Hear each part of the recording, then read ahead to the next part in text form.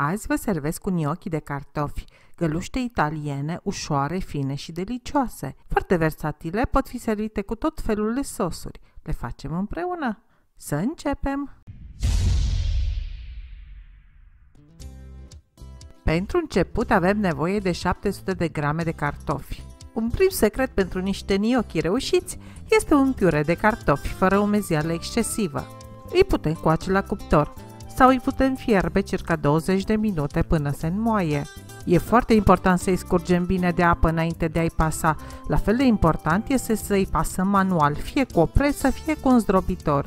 Nu se recomandă să folosim pentru asta mixerul. Motivul e simplu. Amidonul din cartofi, mixat excesiv, duce la o compoziție îngroșată și de o consistență lipicioasă. Cu așa o bază nu am putea obține gnocchi ușor și pufoși pe care ni dorim. După cum vedeți, am pasat cartofii, compoziția de piure este foarte fină și uscată. Mai avem nevoie de 100 de grame de făină, un ou întreg sau două gălbenușuri, sare, piper pentru gust și, opțional, nușoară pudră. Trebuie să o spun, Oul nu este obligatoriu, se poate și fără. Eu pun de obicei ou întreg, dar mai ales primele dăți când faceți gnocchi, recomand să puneți doar gălbenușuri. Amestecăm puțin pentru omogenizare, după care începem să adăugăm făină treptat. În funcție de cât de uscată e compoziția, s-ar putea să fie nevoie de o cantitate variabilă de făină, așa că nu o adăugați toată de la început.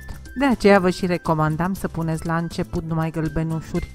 Albușurile aduc în compoziție apă, care vă poate deruta în a adăuga prea multă făină. Dar după ce ați făcut de 2-3 ori un aluat de gnocchi, veți învăța care e consistența perfectă și veți ști să apreciați mai ușor cantitatea ideală de făină. Adăugăm și sare și piper după gust, puțin în ușoară, amestecăm ingredientele doar cât să se lege aluatul, nu uitați, dacă amestecăm excesiv, aluatul se va îngroșa, iar la fierbere se va întări. Pe blatul de lucru presărat cu făina, am porționat aluatul în patru și am început să modelez primul sfert, rulându-l până capăt aspectul unei sfori groase de circa 1 cm grosime. Aluatul s-ar putea să mai fie ușor lipicios, așa că dacă este nevoie, mai presărați puțină făină ca să puteți lucra cu el. Cu un cuțit bine ascuțit sau cu un scraper dat prin făină, tăiem șnurul de aluat în bucăți de un centimetru lungime și avem gnocchi în formă brută.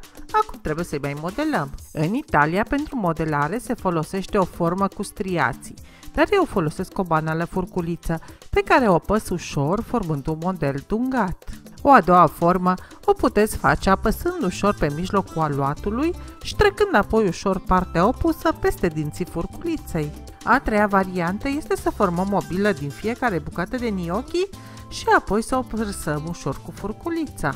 Personal prefer să nu mă complic, așa că doar apăs ușor cu furculița pe fiecare bucată de gnocchi. Bineînțeles, lucrez în continuare în același fel restul aluatului, bucățile gata formate le pun pe o foaie de copt unde e bine să stea circa un sfert de oră ca să se usuce puțin.